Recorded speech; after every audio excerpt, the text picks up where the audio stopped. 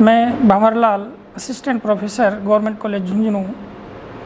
आज अपन चर्चा करेंगे बीकॉम पार्ट फ़र्स्ट के paper first corporate and financial account के विषय में। तो देखिए, पिछले वीडियो में अपन ने चर्चा की थी कि लेखांकन एक व्यवसाय की भाषा होती है। तो इसमें व्यवसाय के जो सूचना के लिए बहुत से जो पक्षकार होते हैं, जो अपना हित रखते हैं, बहुत से स्टेक होल्डर्स होते हैं, जिनमें क्रेडिटर्स है इक्विटी शेयर होल्डर्स हैं डिवेंचर्स हैं क्रेडिटर्स हैं गवर्नमेंट है एम्प्लॉय है। यदि कोई संस्था अपनी स्वयं के पिछले वर्षों की तुलना करना चाहती है या उनका विश्लेषण करना चाहती है या किसी उसी व्यवसाय में लगी हुई किसी दूसरे संस्था से अपनी तुलना करना चाहती है तो उसके लिए आवश्यक होगा कि व्यवसाय से संबंधित जो इन्फॉर्मेशन है, जो सूचनाएँ हैं, उनके लिए बहुत आवश्यक होगा। और ये सूचना उपयोगी तभी मानी जाएगी कि जब उस में जो व्यवसाय के अंदर जो सूचनाएँ हैं, जो सूचनाएँ, जो लेखा किया गया है, उन लेखांकन के कार्य में एक रूपता होगी। इस प्रकार से लेखांकन जो कार्य किया जाता है, उसमें एकरूपता तभी संभव है कि जब इसमें कुछ प्रतिपादित लेखांकन सिद्धांतों का उपयोग किया जाए। तो इसके संबंध में पूर्व के वीडियो में भी मैंने आपको बताया था कि इटली के एक प्रसिद्ध जो विद्वान प्रोफेसर लुकास जो पेशियोली, उन्होंने सत्रह, चौदह में अकाउंटिंग के प्रिंसिपल्स का प्रतिपादन किया था। ये जो अकाउंटिंग के जो प्रिंसिपल्स हैं, वो समय समय पर बदलते रहे हैं और आगे के वर्षों में भी इनमें बदलाव होता रहेगा। इसी प्रकार विभिन्न विद्वानों ने इनके जिस सिद्धांतों का, सिद्धांतों के संबंध में बताया है, जिसमें professor Smith एसबर्न, professor R N Anthony, इन्होंने अकाउंटिंग के जो प्रिंसिपल्स हैं, उनका प्रतिपादन किया है। इसी प्रकार कुछ ऐसी संस्थाएँ भी हैं कि जिन्होंने अकाउंटिंग के जो प्रिंसिपल्स हैं, उनका प्रतिपादन किया है। जैसा कि A I A I C P American institute of certified American institute of certified public accountant ये भी एक संस्था है, जिन्होंने अकाउंटिंग के जो प्रिंसिपल्स हैं, उनका प्रतिपादन किया। ठीक उसी प्रकार अमेरिकन अकाउंटिंग प्रिंसिपल बोर्ड, इन्होंने भी लेखांकन के संबंध में अपने उपयुक्त सिद्धांतों का प्रतिपादन किया। ठीक इसी प्रकार अपने भारत देश में भी एक संस्था हुई है, जो है accounting, Indian accounting standard. Indian accounting standard ठीक इंटरनेशनल लेवल पर भी एक संस्था है जो इंटरनेशनल अकाउंटिंग स्टैंडर्ड है, जिन्होंने समय समय पर अकाउंटिंग के जो प्रिंसिपल है, उनका प्रतिपादन किया है। तो देखिए अकाउंटिंग जो प्रिंसिपल्स है, उसके बारे में यही बताया गया है कि सिद्धांत, जैसा कि अपन को एक अच्छे जीवन जीने के लिए अच्छे सिद्धांतों की आवश्यकता होती है, ठीक उसी प्रकार अकाउंटिंग कार्य में एकरूपता लाने के लिए अच्छे सिद्धांतों की आवश्यकता होती है। सिद्धांत कहते किसे हैं? सिद्धांत के लिए प्रमुख रूप से यही देखा जाता है कि जो बातें सारभूत रूप से जो सत्य होती है, जो सारभूत रूप से जो सत्य होता है, उसे ही सिद्धांत कहा जाता है।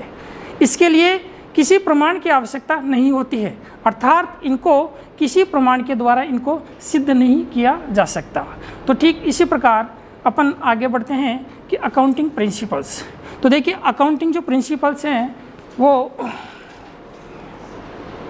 प्रोफेसर आर एन एंथोनी ने इसके बारे में दस अकाउंटिंग प्रिंसिपल्स बताए। इसी प्रकार ऑक्सफर्ड जो लर्नर्ड जो डिक्शनरी है, उसमें अकाउंटिंग प्रिंसिपल्स अर्थात फोर्टीन जो प्रिंसिपल्स हैं, उनको इसमें बतलाया गया है। तो एक एक करके अपन, इसमें अपन अध्ययन करते हैं। तो देखिए सबसे पहले अपन लेंगे।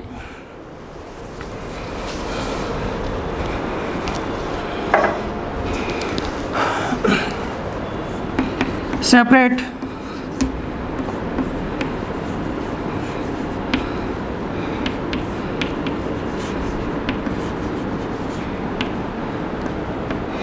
सेपरेट एंटिटी पृथक अस्तित्व की अवधारणा।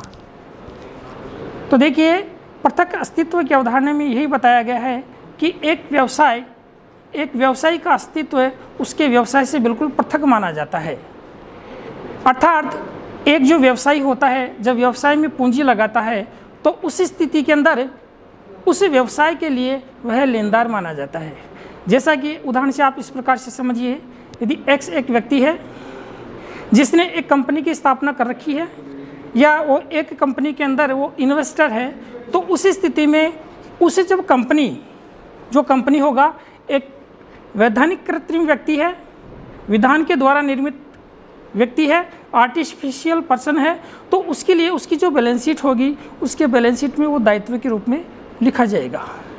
ठीक उसी प्रकार, जिस व्यक्ति ने विनियोग कर रखा है, वो स्वयं की अपनी बैलेंस शीट होगी, उसमें संपत्ति पक्ष में वो एक असेट्स के रूप में इन्वेस्टर्स के रूप में लिखा जाएगा।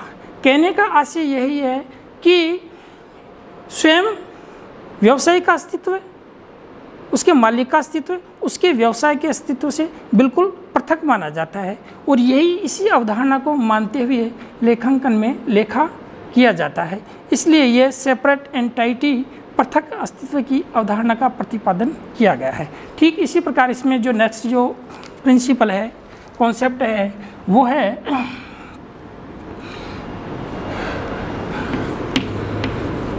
dual aspect concept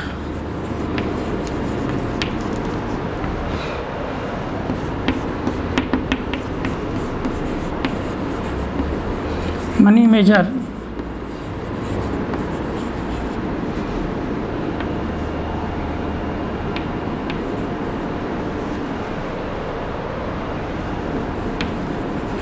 concept.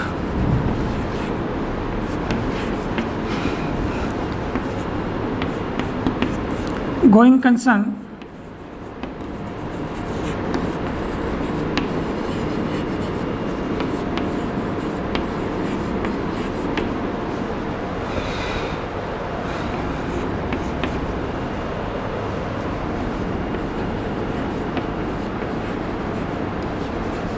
cost concept है तो देखिए, पहले अपन जो मैंने चार जो अवधारणाएँ, पाँच अवधारणाएँ लिखी हैं, उसमें सेकंड जो अवधारणा है ड्यूअल एस्पेक्ट कॉन्सेप्ट अर्थात द्वैत पक्ष की अवधारणा।